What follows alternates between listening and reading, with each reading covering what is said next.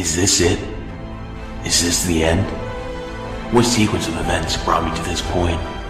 What abhorrent circumstances led me here? Is this the cruel, painful plan that was orchestrated by a malevolent deity? Who am I really? What purpose did I serve in this life that was granted to me? I suppose I'll never know. If this is what my life has led up to, and if this is truly the end, then I accept my fate